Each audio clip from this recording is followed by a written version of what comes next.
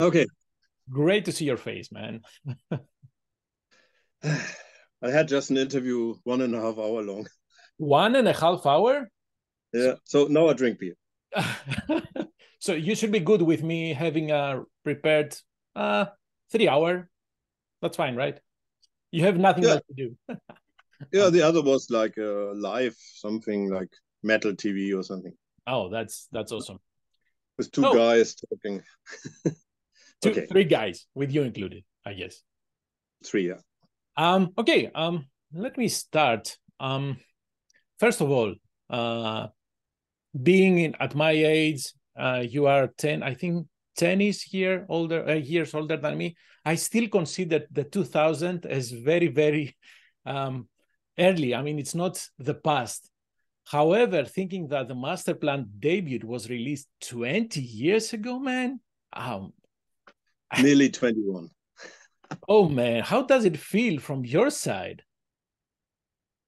Uh, it's, it's a weird feeling. It's like uh, this 20 years went too fast, you know, hmm because I think it's when you get older, it's like, where's the time flies, you know? It's like uh, weird. And I think also something has to do that I was getting more busy in my studio business here in, in Slovakia. It started like 2008, I guess. Okay. and uh, till now it's 15 years so it's it's like i was not paying attention about making album touring making album touring you know so much. Because uh, the business is hard i'm honest in, in, in the music scene you know. Some big bands are making a lot of cash with touring and other bands struggling and you know and some people fans don't know about it you know. It's like well they're saying well they're not doing anything. So basically i had a lot of business in my studio and i was happy about it and uh, i could live still from making music with uh, other people creating mixing recording you know this kind of stuff Even and now i'm now i'm back slowly that i say okay now it's time for Masterplan although it has been hard uh, for a long time for bands, however, after the pandemic, things have gotten worse, right? Yeah. Even now. So you have this gap, like you said, you have big tours happening, attract a lot of people, but then you have the other, the medium or the average, let's say, bands, the smaller bands struggling. that's so true. I, I see what you're saying. I don't I don't think you need to apologize about Masterplan not being so active. I think people with a brain understand. Mhm. Should. that's why that's why we're also uh, now getting on a co-headlining tour which is a bit more secure for us Mhm. to have two bands in the same kind of category or level with Gus and Firewind. And uh, we have a promoter who's taking care about all the risk. So, you know, to be honest, 10 years ago, I said already to my band, um, I think we're not touring anymore. Ooh. And I just played festivals all the time the last 10 years. And uh, because festival is a kind of secure stuff, they send you the money, you book in flights, you fly, have fun, and you come home with some little extra, you know, money. But if you're touring, you have all the risks is by the band, and that's it's a difference, you know, normally. But this guy convinced me some months ago or six months ago to tour again. So it's it's a kind of challenge, you know. It's like I'm quite happy about it because it's uh, also pushed me a little bit more to finishing the new album we do with Masterplan.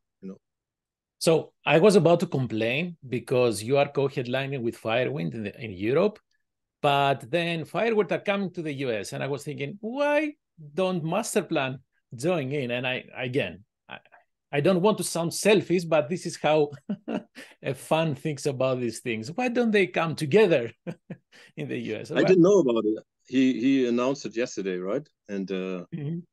I said, oh, would be a chance to go to America, but nobody asked me. so, Oh man. but we have another chance uh, to do uh, some touring again with uh, Firewind, and uh, we talked about it already. And it's the end of of 2024, maybe November. We go to South America.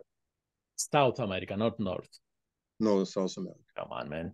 Okay. Wh- wh- where are you based? Which which city you are? I am in Chicago. Chicago. Okay, but you are a Greek guy or?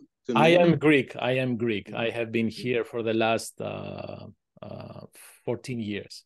Oh, okay, cool. So I missed my chance with Masterplan, man. I, I missed that. Anyhow, I hope we can make something happen. I don't know. Um, yeah. So let's talk about the, the re-release. Uh, although uh, it has been out in Europe, still in the States, I think it will come out in January. So yeah. How much work did you do on the recording? Did you uh, remaster this, uh, the album? Did you do anything? No, I was asked if we should do it, and I said no because for me, the anniversary album is basically just a reminder to the fans which doesn't have it, and we put the extra bonus tracks and uh, this kind of compilation song Black Dog from that Zeppelin cover we made, which was not on the album as well. And uh, but the very very main reason is the video part, which I had lying in my studio and in a private kind of you know room and and I thought it would be nice to see the fans uh, that they can watch it after 20 years, the original lineup, you know, because we had a huge start and a big hype in the beginning. So we, we had Breakers Border Award we were achieving. Um, I think at that time, I don't know what, what now the sales are, but at that time, after six months, we had already 100,000 copies uh, selling. And uh, I was really proud, and that's what it gets further and further. And then we had this nice touring, and we were pretty good um, on the end of the tour. I think we played maybe already 35, 40 shows or something, and then we filmed this show. And I want that people see this beginning of of Masterplan lineup, and not not just having it in my private collection and nobody seeing it. It's it's, it's for me kind of sad, you know. And I thought this could be great with an anniversary idea. So normally I would say why we shouldn't make an anniversary album 20 years, okay. But come on, every band sooner or later have an album which is 20 years old, you know. But I thought this is something we we didn't say. This part of the video and the private part of the video, you didn't see it, right? So far. I have seen only the the live footage. I haven't seen the backstage footage.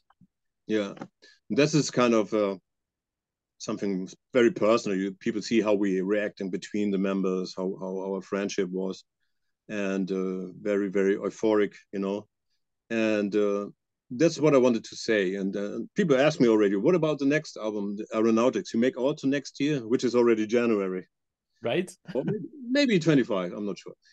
Um, to make the same, I said no. You know, for me, it's doesn't make sense to make anniversary anniversary. So let's let's make some new album, and then this is kind of special album. You know. Although, for example, uh, MK2 uh, that did not have a vinyl release, right? Yeah, yeah. So if you are not say this is an anniversary, but re-release stuff just to make them available again, I would personally I would appreciate to have it on vinyl too. Yeah, I talked with AFM already two years ago about it, and they said, "Yeah, we will do it, but first we do aeronautics, which we, they did already. Mm-hmm. Uh, it's already out. I don't know, six months or beginning of the year." And um, I said, "But MK2 is the only one which doesn't have vinyl, and uh, they promised me they will do it sooner or later." Yeah, yeah, because we have also to consider that we are talking about twenty years. That is one and a half generation of uh, metal fans even more. So people yeah. have missed stuff, and it's good to um, reintroduce some of the stuff that we have been originally introduced. However, I mm. totally understand the economics of this and how this. Mm, these days, I, am not sure the physical product how um, profitable is that. But anyhow, anyhow, um, you mentioned about the bonus tracks. Uh, mm-hmm. Uh, I could not find where the Kid Rock song comes from. Uh, was um, on Japanese release. Oh, okay, okay. Yeah, it was on a Japanese album because they didn't want it Enlighten Me on the album. What? Yeah, it's weird. so you replaced Enlighten Me with a Kid Rock song? Yeah, they wanted it, not us. no, yeah, yeah that, that's what I, am shocked to say the least. I have no idea why they did that. Enlighten Me is, uh, I still remember listening to that song, the first song. It's yeah, wow. It's like uh, it's like imagine I was talking to the label, eh, um, what's the name, Avalon, Marquee Avalon, and I said, why you why you don't want this song, Enlighten Me? I mean, people love it in Europe yeah, but Japanese fans doesn't like this style. I said, huh? what? you know, okay, what is so brutal different? You know, it's it's it's a bit more modern. It's a bit different than normally what people expect from us. But Kid Kid Rocks On is not better song than than this, you know, for my taste. Oof. And uh, the funny thing is, the album came out, and then I see Burrn magazine. You know, Burrn magazine, the biggest in Japan, and import uh, single charts. Enlighten Me was on number one.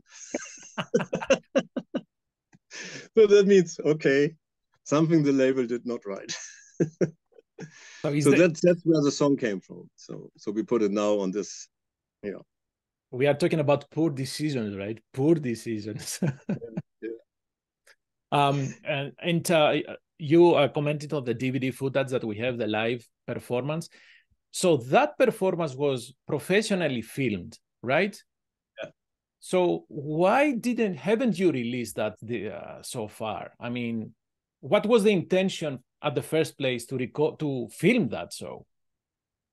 First, we we um, this show was a support show from from Hammerfall. You know, we we toured together in whole Europe, and some different third band was in front of us, like uh, Dream Evil or Nostradameus. Um, so they played half of the tour each. And um, then I heard from from from Hammerfall that they wanted to release uh, soon a DVD from this tour in Gothenburg, mm-hmm. and uh, that the film crew is coming. And the film crew came came to us in the dressing room, and asked if we want also be being filmed for money, of course.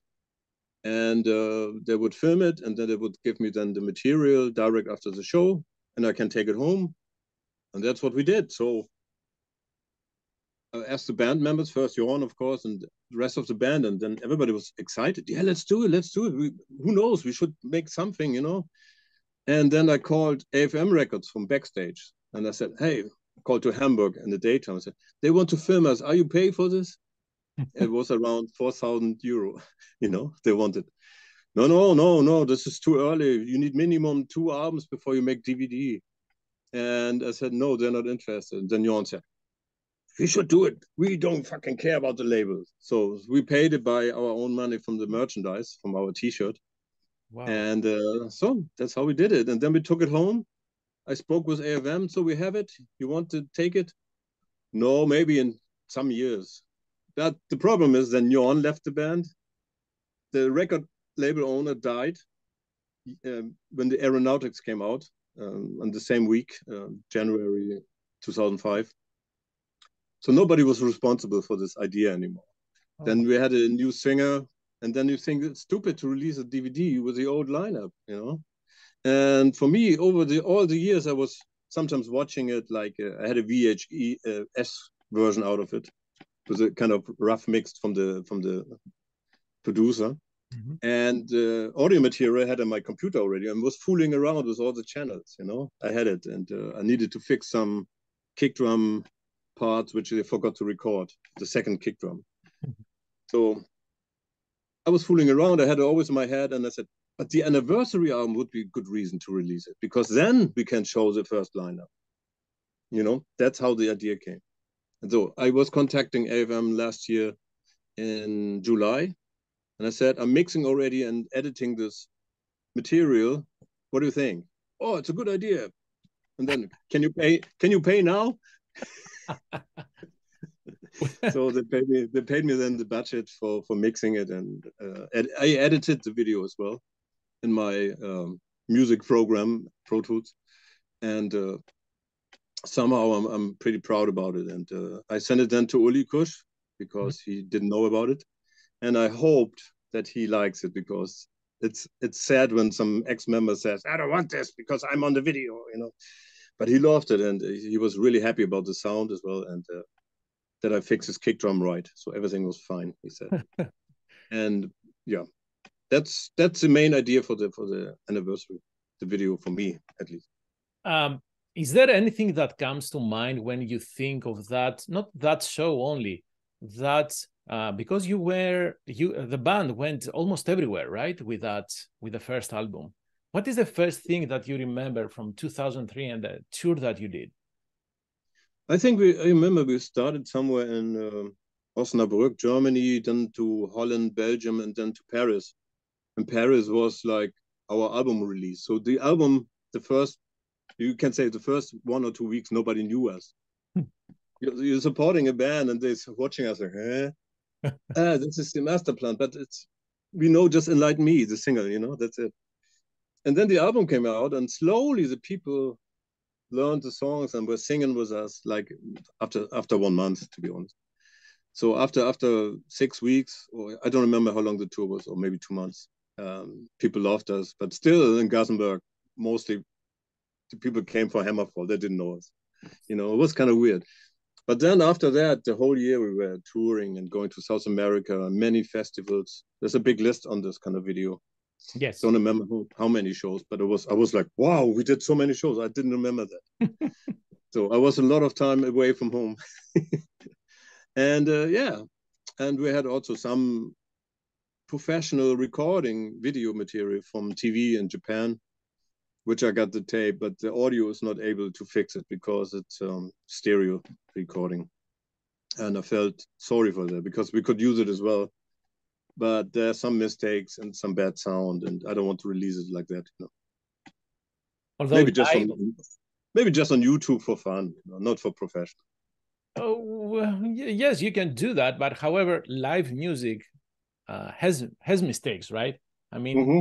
unless well, I shouldn't speak to uh, on behalf of everyone.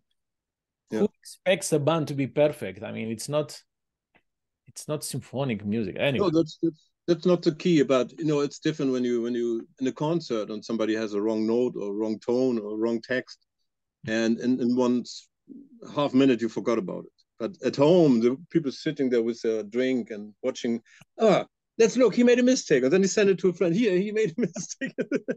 That's a highlight nowadays you know of the show. It's like how many times you see bad singing from famous people? Like uh, i don't know if it's guns N' roses or who else you know? Like i hate this you know? Everybody with this mobile in front of you you know? True, at least 20 years ago was it not like that uh, who listens to music? No i shouldn't say that. I mean listening to live music through uh, someone's uh, uh phone it's not live music it's something else. Yeah, but let's yeah. how does it feel for uh, how did, did it feel going through that footage that it was 20 years ago? Uh, did you make mistakes? Uh, i did yeah i did some. I remember i had um,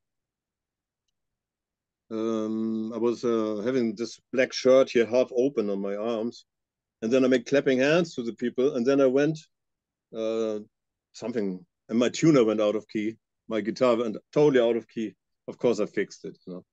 And and when you know the cameras in front of you, you you're more stiff, you know, you feel like concentrating, please concentrate. And then mistake happened, number one. No, and your brain is like somewhere else. You you you can't enjoy it anymore, at least for half of the song. And uh, yeah, there's some some mistakes, but the drums are real, the vocals are real, and uh, some part is bass is real, keyboard. Honestly so the, the, band sounds great and looks great. And yeah that, that's what that that's I, what i wanted to show. I mean Jorn is just on on top you know he's just amazing.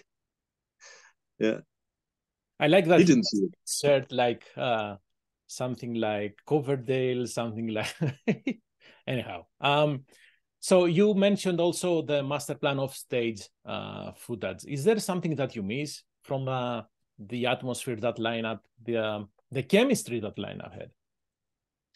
It's like uh, something special. It's part of the moment. It's you can't. Uh, of course, it was beautiful, and I remember still everything. But when you see all the details of the talkings, and uh, uh of course, I needed to cut something out because the, the video material material was around uh, nine hours.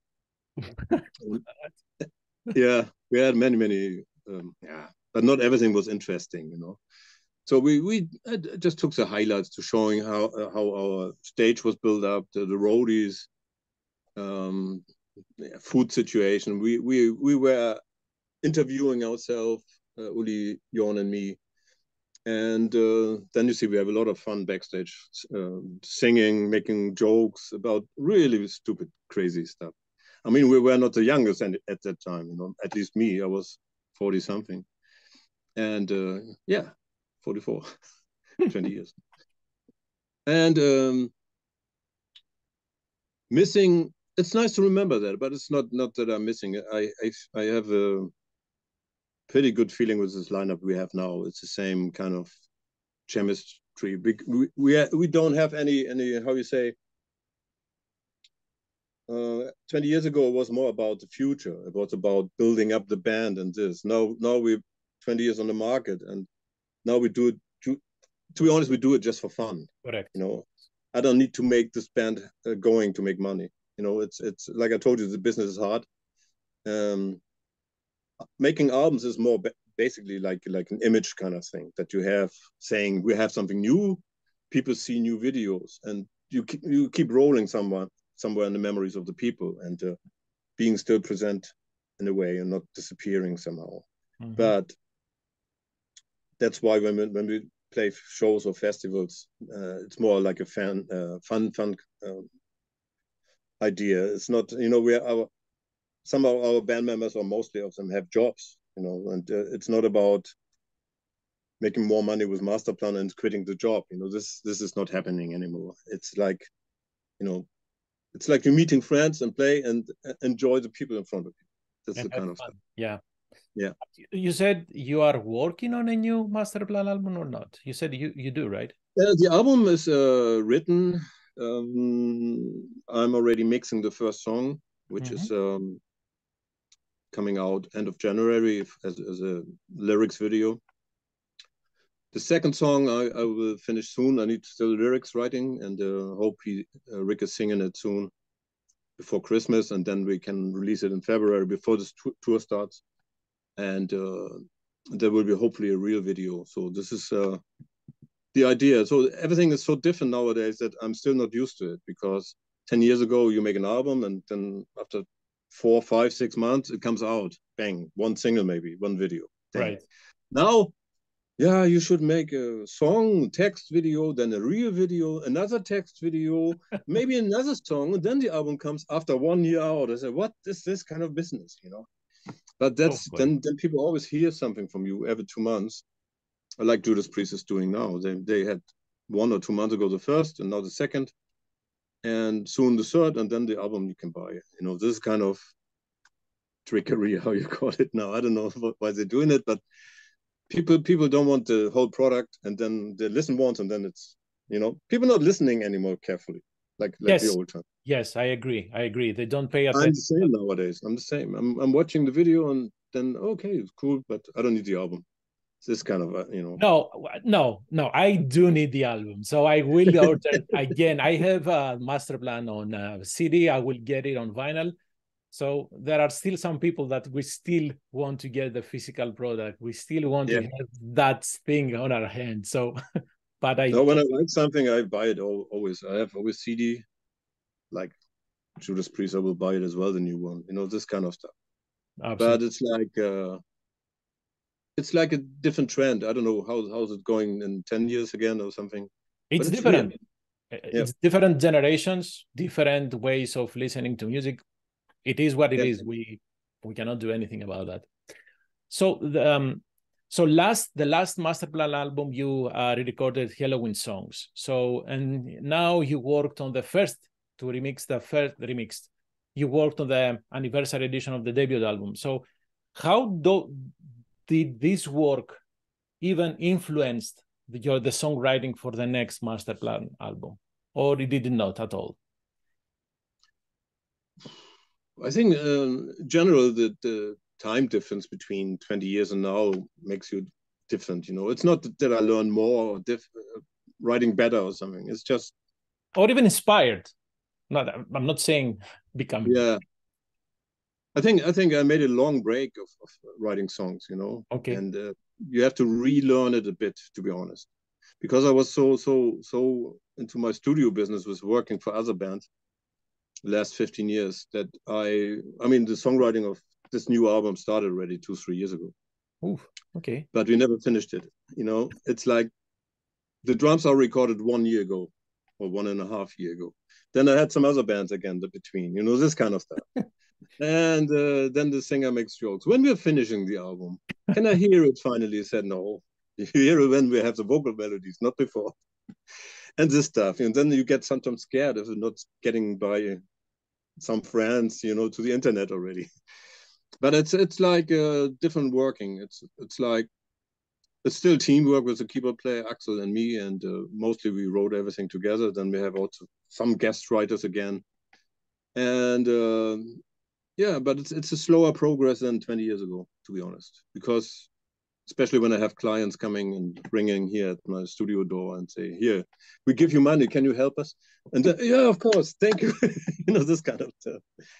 But now um, I had a long break, to be honest, and now I want to continue working for Masterplan and uh, maybe also for solo album. So I'm slowly getting hungry and have a lot of material left, which is not not bad material. It just doesn't fit to Masterplan or something.